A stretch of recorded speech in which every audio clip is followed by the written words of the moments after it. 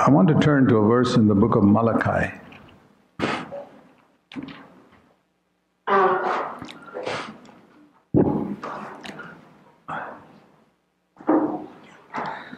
Uh, you know, CFC started in our home, the first church, about 44 and a half years ago, and came out of some of us getting fed up with what we saw in a lot of Christendom around us. Not that they were evil, but it was all old covenant. You know, you can live a very good life under the old covenant. I mean, think of John the Baptist. Supposing you had a church full of John the Baptists, you think that's a wonderful church, right? Everybody of the quality of John the Baptist. But yet, Jesus said, the least person in the new covenant in the kingdom of God is greater than him. And I wonder whether Christendom has understood that. And that's why I find even in many who come to a CFC church, they're not really gripped by the calling to be way higher than anyone in the Old Covenant. Those are the words of Jesus. Why don't we take it seriously? And I'll tell you why because we don't want to pay the price. So Malachi was the last prophet before John the Baptist in the Old Covenant. It was the end of the Old Covenant, and the children of Israel had already been taught a lesson by being sent into captivity for 70 years. And they came back, and Zechariah and Haggai, the previous two prophets, had challenged them to build the temple. Nehemiah had challenged them to build the wall. So there was some type of revival, and they had learned a lesson from 70 years of captivity. But very soon, they backslid again. Within about 100 years, they came to such a condition that Malachi, uh, the Lord spoke to Malachi, and it's a, this is the passage that the Lord gave us when we started CFC. And uh, I want you to understand something here. From verse 6 to 11, that is the main passage that came to us. And it's a very important passage. Why was the Lord fed up with the Israelites and why was He setting them aside permanently and starting something completely new? The Church of Jesus Christ. And in that, we can see what has happened to Christendom also as it has declined just like the Israelites. The Israelites started with great power in the day of Joshua, just like the book of Joshua is like the Acts of the Apostles. From that time onwards, a decline started.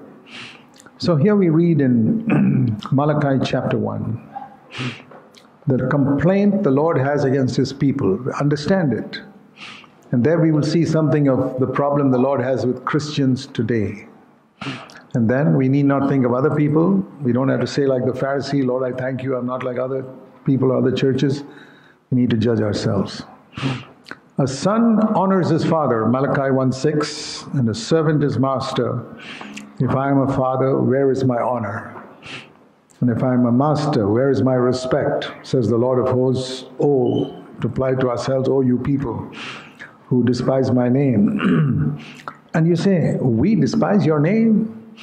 Isn't that a question we ask when somebody says, when the prophet says, You've despised the Lord's name? You say, Where did we despise your name? And the Lord says, I'll explain to you how you despised my name and learn to apply this to yourself. You are presenting defiled food upon my altar. And you say, How have we defiled you? You say, The table of the Lord is despised. In what way? Okay, here now comes the explanation. You see, the children of Israel had to give sacrifices regularly to the Lord. Three times a year they went to Jerusalem with their sacrifices. And there was a law that whatever you sacrifice, if you can't afford a lamb, offer a bird, a dove. But it must be without blemish, without any fault in it. Must be a healthy lamb. If you can't afford a lamb, a healthy bird. But these folks, it says they presented the blind for eight, uh, verse 8, for sacrifice, and the lame and the sick. So, what were they doing? When they went to offer the sacrifices in Jerusalem, they looked in their flock and they say, Oh, here's this lame sheep. It's a bit of a nuisance to us in any case. Let's go and give it to the Lord. We have to give one sheep in any case. And here's a blind ox, bit of a problem for us. Let's give it to the Lord. Essentially, they were giving to the Lord that which cost them zero. If they had given a really good ox or a good lamb, that would have been expensive. But they gave them, gave the Lord that which really cost them nothing. They were glad to get rid of. And uh, the Lord says, Would you offer that to your governor?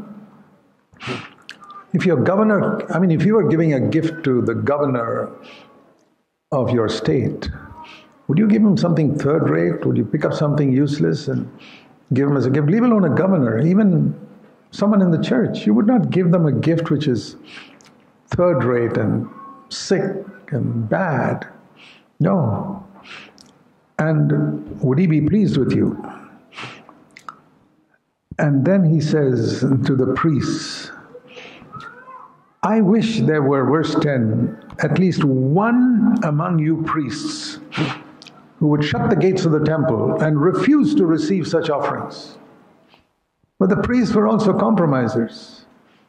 Even though they were supposed to check whether the animals were without blemish, they didn't do it. And he says, I am not pleased with you, says the Lord. Verse 10 I will not accept an offering from you. And the Lord rejected Israel. And I believe that the Lord has rejected most people, and when I say most people, I mean most people who call themselves Christians today, and many, many people who call themselves born again believers because of the same reason. They have not understood what it means to give to the Lord that which cost them something. They give to the Lord the leftovers and that which costs them nothing. And it's good for all of us to examine ourselves. And this is the word the Lord gave us when we started CFC Malachi 1, verse 11. Remember very clearly speaking on this in almost one of the first meetings we had in CFC in our home in 1975. The Lord is looking for a pure offering. Verse 11 this is the rejection of Israel. You people think that you're the only ones whom I've chosen and you're the only ones I'll accept. God says, I've finished with you. And it's the same way with a lot of Christian churches who think, ah, oh, we're the ones whom God has accepted. we're not like all the others. God's accepted us. But if you have this quality that you find in the Israelites, the Lord will say, No, I don't accept you. But from the rising of the sun, from the east to the west, my name will be great among all these other nations. I'm going to set you aside, Israel. You think you're the only ones whom I've chosen? I'm going to set you aside. And from all the nations of the world, I'm going to get an offering that is pure. An offering that is pure. That's the word that the Lord gave us when we started CFC, or when the Lord started CFC 45 years ago and thus my name will be glorified. So, what is an offering that is pure? An offering that is pure is an offering that costs us something.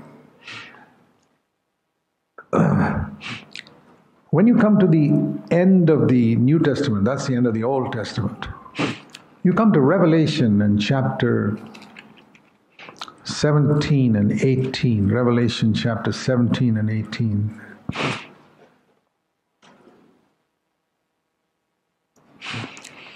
You see something similar. There are two, uh, not just 17, 18, but all the way up to 21. You see, there are two cities mentioned here. One is called Babylon in chapter 17 and 18. And in chapter 21, you read about Jerusalem. Babylon and Jerusalem, two cities symbolizing two types of churches. See, Babylon is a religious system, and uh, it's called here in Revelation 17:5 the mother of harlots. And in contrast to that, you read in Revelation 21, verse 2 I see Jerusalem like a bride adorned for her husband. So the contrast is between a bride and a harlot. A harlot means a prostitute or an, um, an engaged woman who is unfaithful to her fiance. See, we are not yet married to Christ. The Bible says the marriage of the Lamb is going to come. But the bride is one who is engaged to be married to Christ. And while she says she's engaged to marry to Christ, she's unfaithful. It's like, you know, if a girl's engaged to a man in some distant country and he says, I'm going to come back, wait, wait for me, be faithful to me. And during that time, she's fooling around with others. Well, she's a harlot. So, what is the other man with whom the church can fool around? It's the world, money. Money is the biggest part in the world, where money and material things and honor and the world, where these things become the things I'm occupied with to the cost of devotion to my absent bridegroom.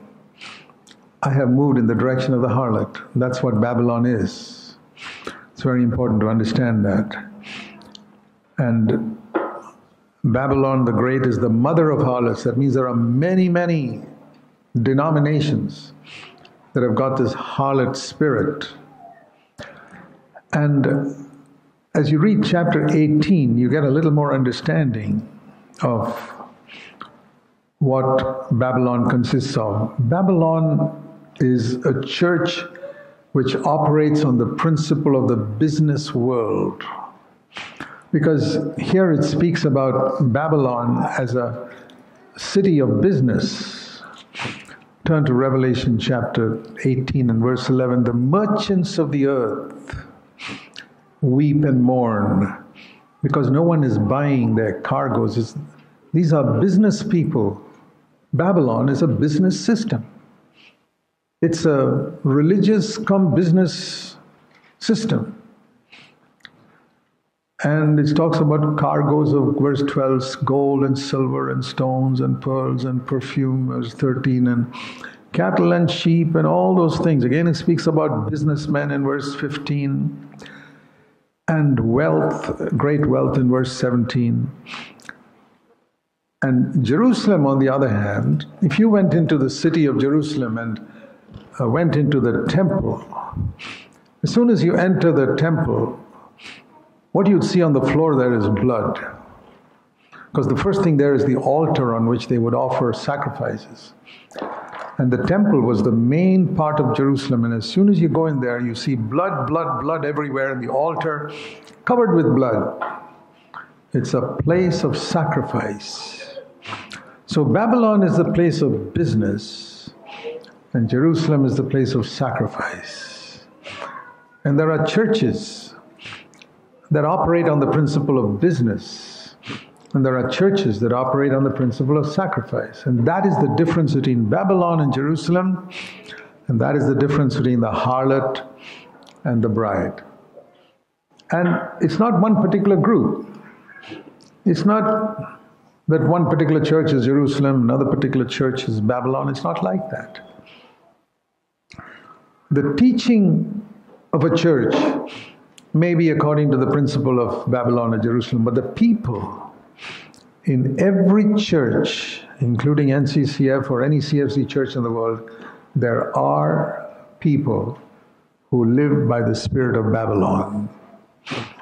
In every single church, and I'm saying that after watching 45 CFC churches for 44 years, in every single church, there are people with the spirit of Babylon. But they think they're not because it's a new covenant. They can explain the new covenant, they can explain all the points of difference between old covenant and new covenant and so many things, and they've got a fairly decent life. When I say a fairly decent life, it means old covenant life. They don't commit adultery, they don't steal, they don't tell lies, they come regularly to the Sabbath worship. I'm talking about Old Covenant. Today it's Sunday worship, and they put their offerings like the Old Testament people. Everything is like a God fearing Old Testament Jew. That is the condition of many, many Christians. Nobody can find fault with their life, their external life is very good. But the principle of Babylon operates in their life. The principle of business. There's another verse I want to point out to you in the Old Testament. In the book of Zechariah, He's talking about the final day when the Lord returns in glory. It says in Zechariah 14, the last chapter, the day will come, verse 9, when the Lord will be king over all the earth. Zechariah 14 and verse 9. And then it goes on to say, in that day, holiness will not be just in the temple, holiness will be everywhere. And it says in verse 20, even in the bells of the horses, it'll be written holy to the Lord. Holy to the Lord in the old covenant was written only on the forehead of the high priest. But he says, in this day when the Lord is ruling over the earth, even the bells of the horses will be holy to the Lord. In other words, holiness will be so widespread. It's not just among special people like the high priest, down to the lowest insignificant person, there'll be holiness. And the cooking pots, that means the pots in the kitchen, will be as holy as the bowls before the altar. The incense bowls in the altar were considered holy. The cooking pots were just to cook food, but it says in that day, we're going to be equally holy. And every cooking pot will be holy to the Lord, verse 21. And then listen to this. This is the verse I wanted to point out to you in the margin of my Bible, it says, There will no longer be a businessman in the house of the Lord. There will be no businessmen in the house of the Lord when the Lord returns. There'll be no merchants. The translation of Canaanite in the margin, the original Hebrew, it says merchants or businessmen.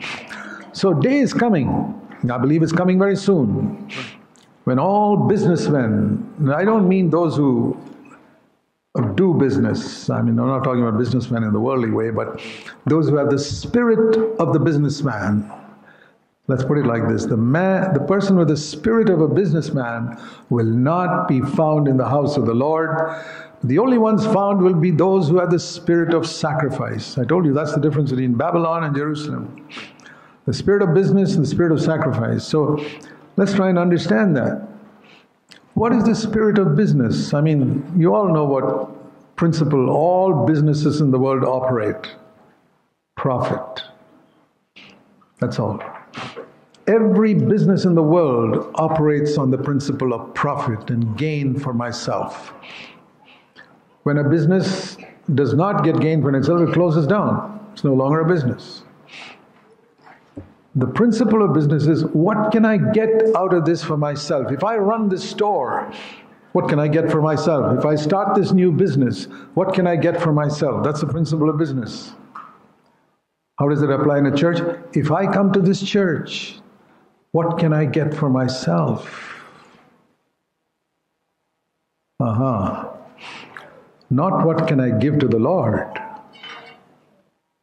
And I'm not talking about money. Some people, when you talk about giving, we think only about money. Money is the last thing God is interested in. It's your life, it's your self life, it's denying yourself. So when we come to the Lord, if I'm if we come to join a church, I think all of you sitting here need to ask yourself, why have you decided to join NCCF? I know many people join CFC because oh, this is a good place for my children to grow up. I want my children to grow up in this church. You're a businessman. You're thinking what you can get out of it. what your children can get out of it. That is not the reason why a person should join a church.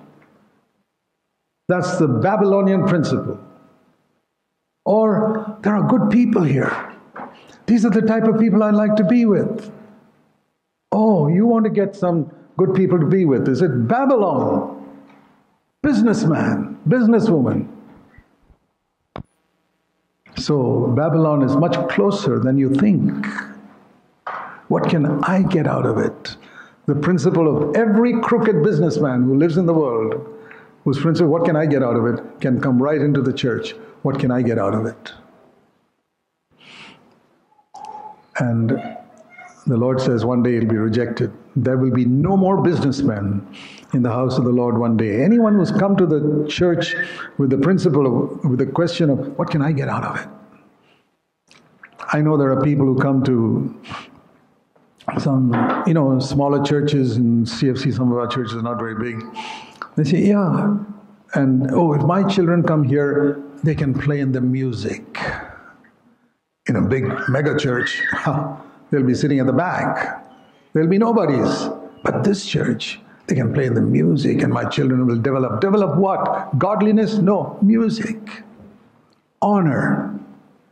Shame on you. I hope there's nobody here like that. That's Babylon 100%. What can I get out of it? What, my, what can my children get out of it? And there can be many, many other areas. Nice people to be with. They'll care for me. They'll help me to shift my house when I'm moving house. I won't have to pay the laborer so much. All types of stupid, selfish reasons why people come. It's a nice club to be in.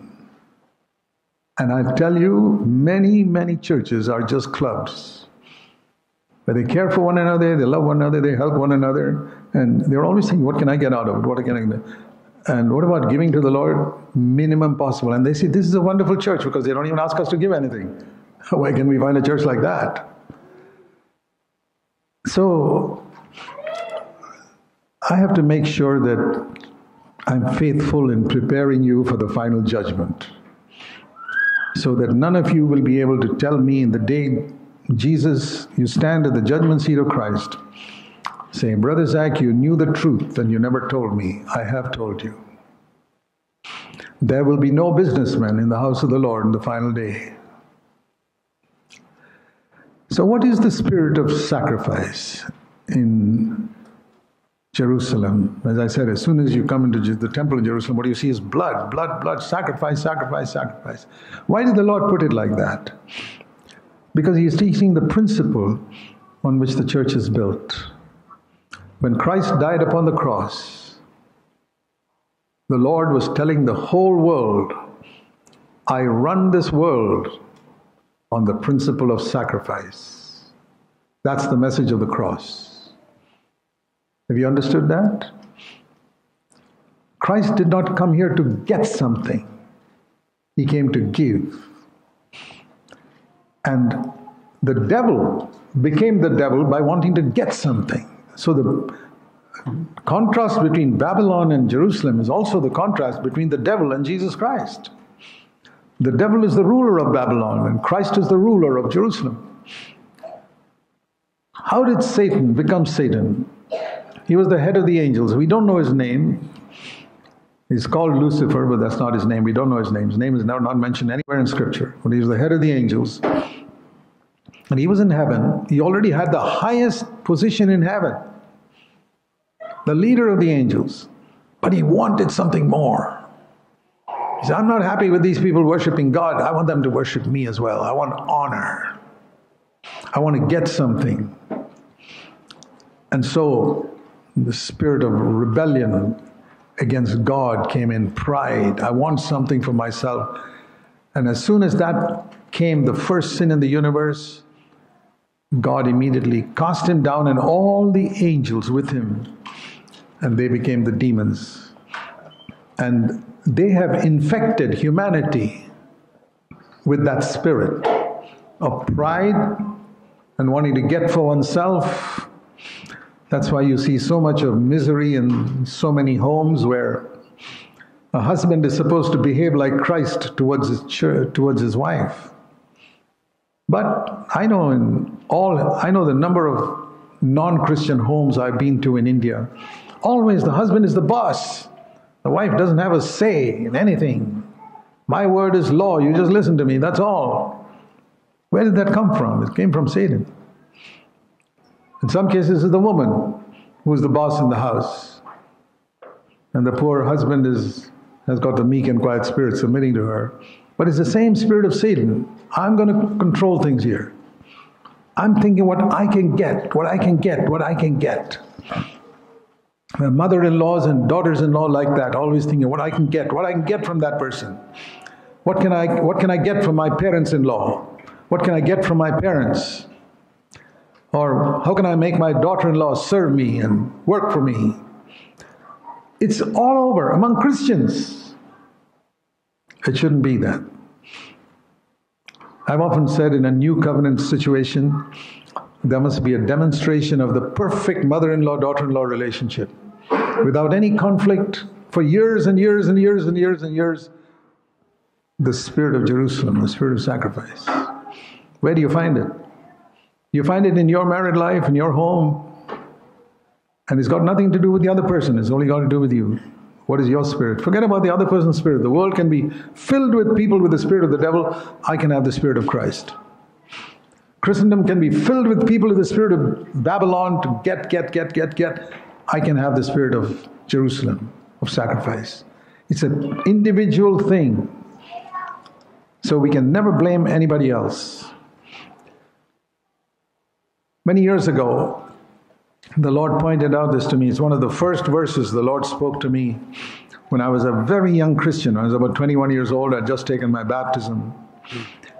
And one of the first verses of scripture that the Lord drilled into my head was 2 Samuel chapter 24 and verse 24. 2 Samuel 24, verse 24. So, word the Lord spoke to me more than 58 years ago after my baptism. It's a place where David, the Lord told David to go to a, a farmer's property and offer a sacrifice there. And David went to that farmer's property. And uh, the farmer, verse 21, 2 Samuel 24, verse 21, said, Why has the king to my, come to my servant? Araunah was the farmer.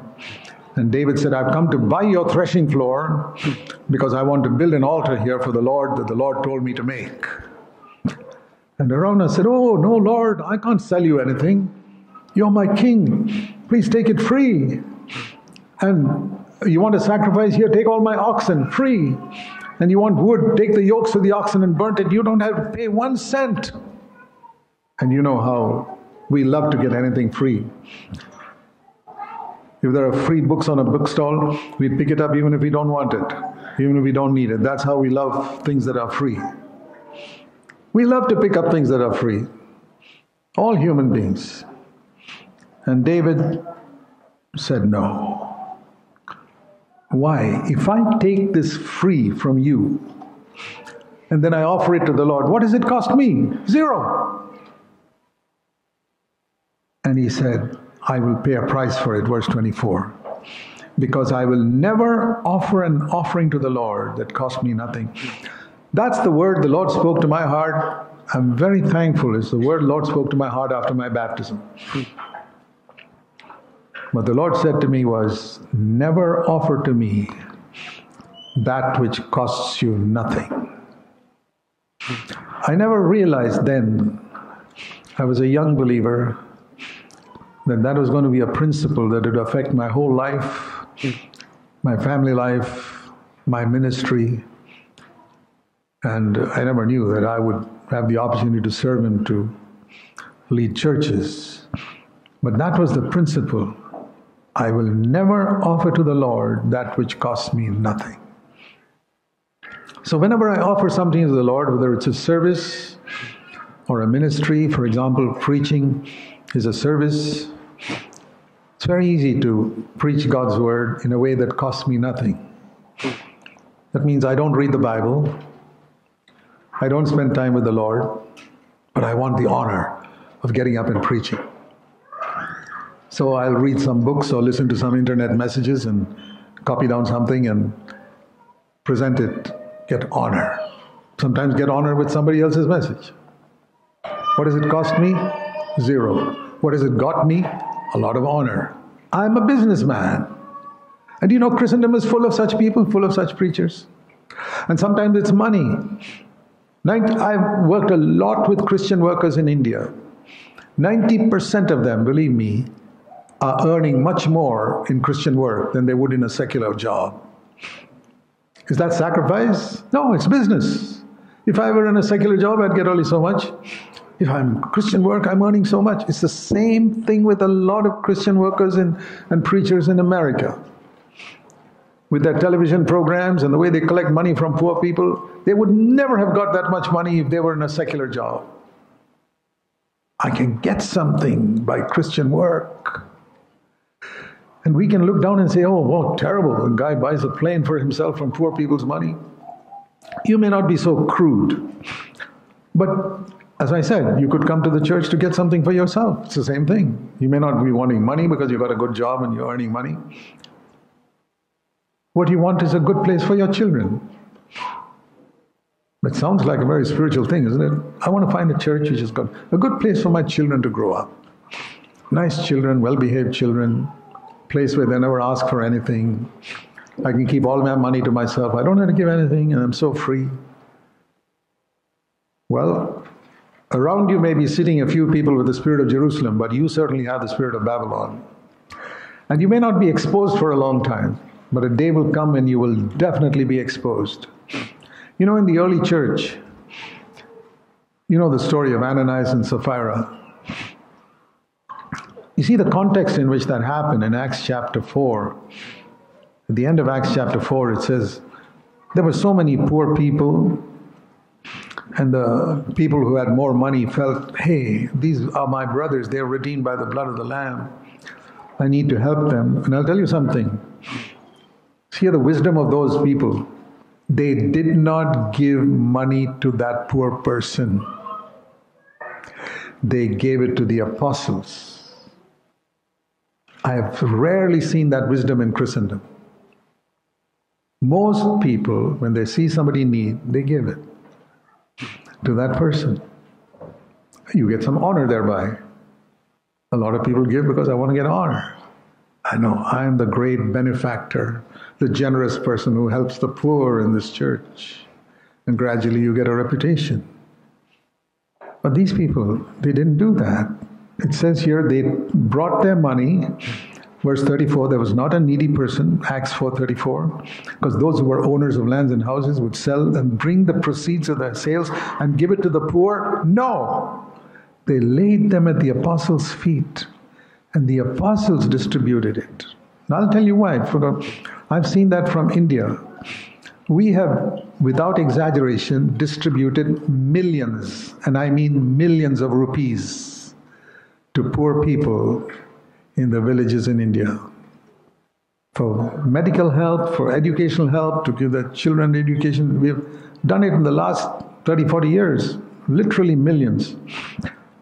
And but it's always been done by the leaders. Not, not that people go and give them, okay, this is for your child's education. No. It's done by the leaders. Because I'll tell you why. Because if each person gave directly to the poor, the clever poor fellow will make his needs known to everybody and get a lot of money. He'll become a, a very rich person. And the person who does not reveal his needs will never get anything because people think, oh, he's all right. He doesn't seem to have any need. Whereas the elders who know the financial state of all the people will be able to know whom to give and how somebody, we don't want to give this person more, they'll give wisely. That's why in our churches, we say if you want to give to the poor, put it in a little envelope and mark for the poor, and the elders will decide whom to give it. And we have found through 40 years that's the wise way. That's what they did too. But in the midst of this, there was a couple called Ananias and Sapphira who also, yeah, they wanted to give. But they also wanted something for themselves. They wanted some honor. They wanted the honor of giving And so they sold a piece of property, Acts 5, verse 1, but they kept back part of the price for themselves. Let's assume that they sold their property for $100,000 and they kept $50,000 for themselves and gave 50,000 for the Lord. Boy, I mean, if somebody did that today, you'd call that person a wholehearted radical Christian. He sold his property for $100,000 and he gave 50,000 to the Lord. Wow.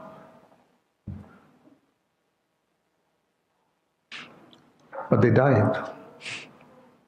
Because it says here they pretended that they were giving the whole thing. That was their problem. They pretended that they were giving the whole thing when they were only giving a portion. So Peter said, Ananias, why has Satan filled your heart to tell a lie to the Holy Spirit? When do you tell a lie to the Holy Spirit? I'll tell you.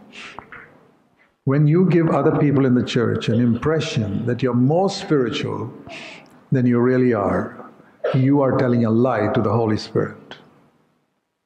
And you know, it's not in words, it's not saying I'm a very spiritual man. We are not so crude. It's the airs we have about ourselves and the way we talk and the way we conduct ourselves and way we give a little testimony here and there of something we did. And the whole aim is the business principle. What can I get? What can I get? I can get some honor from this church as a spiritual man. Uh-huh. There will be no businessmen in the house of the Lord in the final day, remember. So Ananias wanted that. And Satan Peter says, You have lied to the Holy Spirit. And now listen, the matter of money. See how clearly Peter says about who our money belongs to. Your money does not belong to the Lord. Says here, before you sold the property, the money was yours. The house is yours. Nobody asked you to sell it. And even after you sold it, verse 4, it was still yours. Even if after you converted property to cash, the money is yours, Ananias.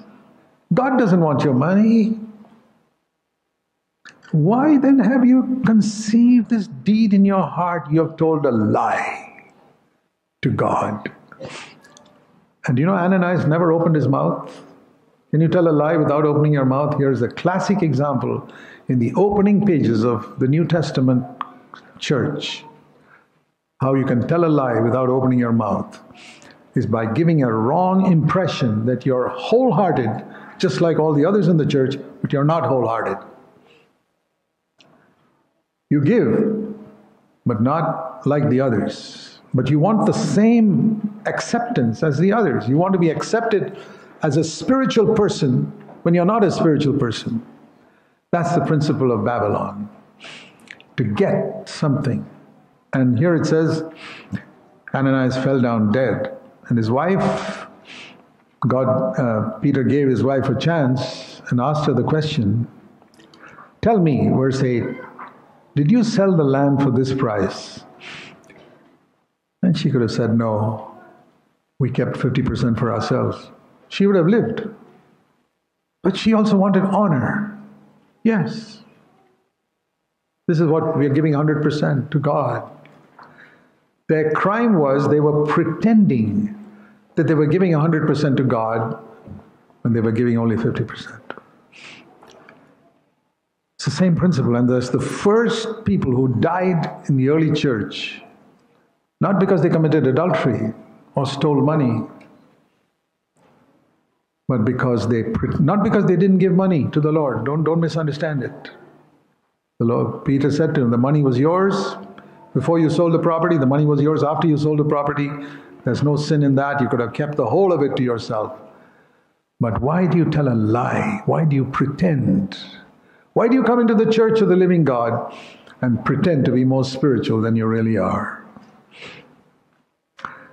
This is very important, dear brothers and sisters, because we can never build the church of Jesus Christ with that spirit. I told you about David, another man who had the same principle as Abraham. When the Lord asked him to offer up his son, he didn't take 10,000 sheep, he didn't take anything else which would have cost him less. He gave his son. So when you turn to Second Chronicles, there's a very interesting verse here in Second Chronicles in chapter 3, in the building of the temple, which is a picture of the building of the church.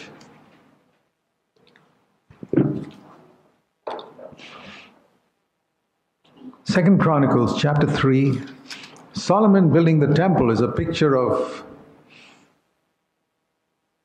the Lord Jesus building the church, and we cooperating with the Lord and building the church. Where did the Lord choose to build the church? Listen to this. Second Chronicles 3, verse 1. The Lord, Solomon began to build the house of the Lord in the place where the Lord told him.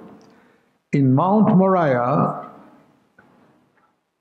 in the place, Mount Moriah, by the way, you read in Genesis 22, is where Abraham offered up his son Isaac. Where he said to God, You ask for my son, it's the most precious thing I have on earth. I will not offer to you that which cost me nothing. Here is my son. That's Mount Moriah. And way back there, then Abraham offered up his son, God decided, My temple will be built here. Where a servant of mine offered to me that which cost him everything. And the exact place is where David prepared on the threshing floor of Ornan the Jebusite. That's where David also, 1,000 years after Abraham, said, I will not offer to the Lord that which cost me nothing. Isn't it interesting that that was the place the Lord selected to build his church? And it is the same today. There are many places that call themselves churches. There are probably a lot of people that call themselves New Covenant churches.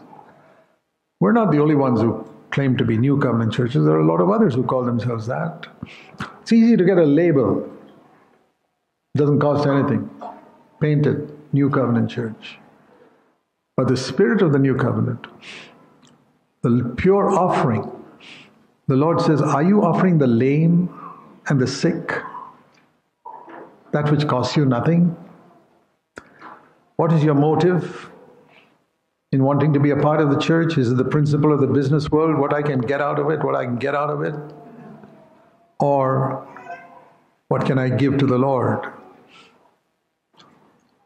I want to offer myself to the Lord and I want to come to the church with seeking nothing for myself. I don't want anything for myself. I don't want anything for my children. I want to give myself and I want nothing in return. You know, out there in the health, wealth, charismatic churches, they say, if you give to the Lord, the Lord will give back to you. He'll give back to you a hundred times. And uh, people give because they say, I'm going to get something from the bank. It's like giving to a bank which gives you 100% interest. Who will not give to a bank like that? There are people who give like that and who expect the Lord to give, and they accidentally, if they get some money, they say, The Lord made me rich. And the preachers will take that one example among a thousand who got some money and say, See, this man gave and he became rich. He won't tell you about all the 999 people who got nothing. That's how they fool people nowadays. I remember the story of a journalist who came to an American church that preached the health wealth gospel and say, I want to really find out if it's really true, then we must proclaim this in the newspapers that this is the way to make money, give to the Lord. So he said, this journalist, I don't have to go inside the church to find out what they preach. I'll just go to the parking lot and see what type of cars they have, and I'll find out whether God has prospered them or not.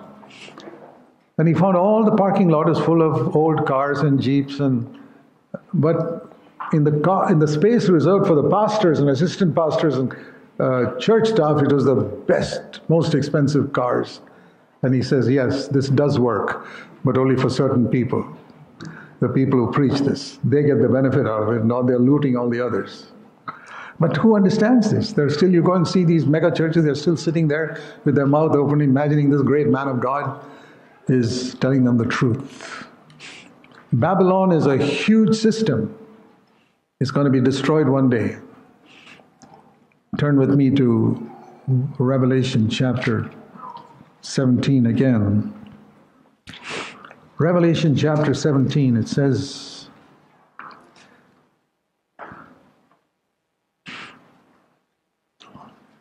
No, chapter 18, sorry. Revelation chapter 18. Verse 2 Fallen, fallen is Babylon the Great. Come out of her, verse 4, my people. And further down in chapter 19, verse, verse 1, the last part Hallelujah, salvation and glory and power belong to our God because his judgments are righteous. He has judged the great harlot. A second time, verse 3, they said, Hallelujah, the smoke of Babylon rises up forever. Do you know, I don't know whether you know this fact, that in the entire New Testament, the word hallelujah, which Christians speak so often, particularly in charismatic churches, never occurs till you come to the book of Revelation. Most people don't even know what it means. Hallel means praise. Yah is Jehovah, the Lord. It means praise the Lord. And if you translate it, it just means praise the Lord. We say praise the Lord. But it's interesting to see where hallelujah comes for the first time in the New Testament. The destruction of Babylon. Hallelujah. The great harlot, verse 2, has been destroyed. Again, a second time, hallelujah, the smoke of the harlot rises up forever. Isn't that significant? That hallelujah comes when Babylon is destroyed. I want to have a hallelujah in my heart to see the destruction of Babylon and that spirit, first of all, in my life. Hallelujah. I will never offer to the Lord that which costs me nothing. I will not go to a church to see what I can get out of it money, honor, nothing. It's so easy, brothers and sisters, to have something of that spirit in some corner of our heart and think because we are in a good church, we are spiritual. It's very important to understand that it's easy to be spiritual if we look at Jesus Christ and say, Lord, I want to have that same spirit. You lost something when you came from heaven to earth. You never gained financially. You didn't get honor. You had more honor in heaven. You lost honor when you came to the earth. You had all the wealth of heaven and you lost everything when you came to the earth. What did he gain? What about you? Have you served the Lord? Have you come to the church and you're satisfied that you and your family can get something? And I believe that it's because of that that our Christian life remains so shallow and doesn't seem to grow. You wonder why you're not getting victory over sin. You wonder why you cannot rejoice always. You wonder why you're not living that overcoming life. And I'll tell you, here maybe the reason may be here that deep down in your heart is the spirit of Babylon. You're thinking of what you can get. So repentance means you want to turn around from that today and say, Lord, uh, today I want to give that up. I never want to think from today onwards, what am I going to get? So, in other words, don't ask yourself what you do, but ask yourself, what is the motive behind my doing this or saying this? I want to get zero out of the church for myself and my children. I want to glorify God. That's all. I go to the church to glorify God. I bake my children there to glorify God, not to find a comfortable place and a nice place where I can meet with others who are good people.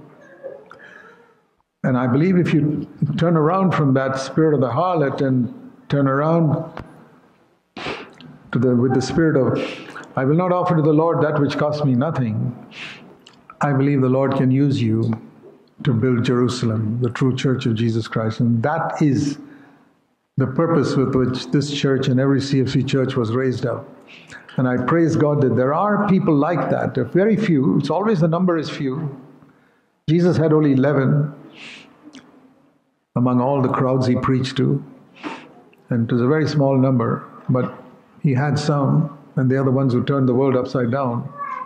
And he has some today as well. But those few are mixed up in the crowd of many others who have got other motives.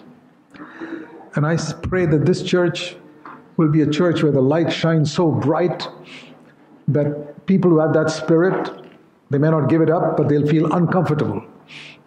I pray that everyone who has that spirit here will feel terribly uncomfortable after hearing this message today. And you'll keep on feeling uncomfortable until you get rid of that spirit. Because that is the message I always preach. This is a message I preached for 45 years and I'll continue to preach until Jesus comes. I've often said the prophetic message in the church is to comfort those who are disturbed. That is also there. And to disturb those who are comfortable. To comfort the disturbed and disturb the comfortable. And I hope if you're disturbed in your spirit, you'll feel comforted in God's love for you, even if you don't have any recognition in the church. And if you're comfortable in the church with the wrong motives, I hope you'll feel disturbed enough to set things right today. May God help us all.